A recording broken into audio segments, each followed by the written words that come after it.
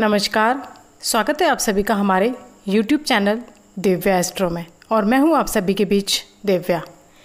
आज की इस वीडियो में मैं आप सभी से बात करने वाली हूँ पितृपक्ष 2022 की सभी तिथियों के बारे में। आज की इस वीडियो में आप श्राद्ध की सभी तिथियाँ जानेंगे कि कब कौन सा श्राद्ध है। श्राद्ध कब से शुरू हो रहे हैं और कब समाप्त हो रहे हैं। पंचांग के अनुसार पितृपक्ष का जो आरंभ होता है, वह भाद्र मास की पूर्णिमा से होता है। और पितृपक्ष का समापन जो होता है, वह आश्विन मास की अमावस्या पर होता है।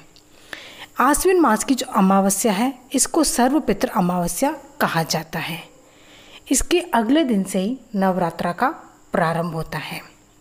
तो आइए, अब हम बात करते हैं सन 2022 में सभी पितृपक्ष की तिथियों के बारे में। पितृपक्ष प्रारंभ हो रहा है 10 सितंबर 2022 इस दिन भाद्रपद मास की पूर्णिमा का श्राद्ध किया जाएगा।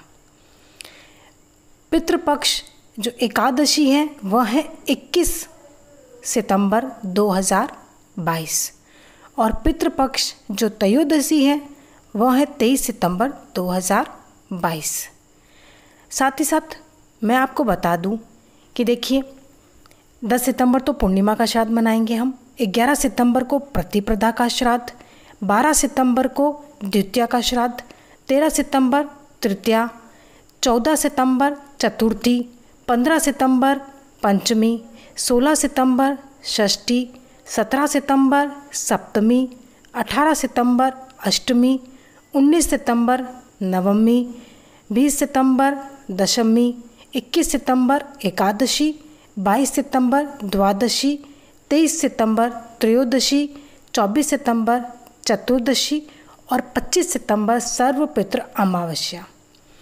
तो यह थे सभी आपकी श्राद्ध की तिथियों की जानकारी। अगर आज का मेरा यह वीडियो आपको पसंद आया हो तो वीडियो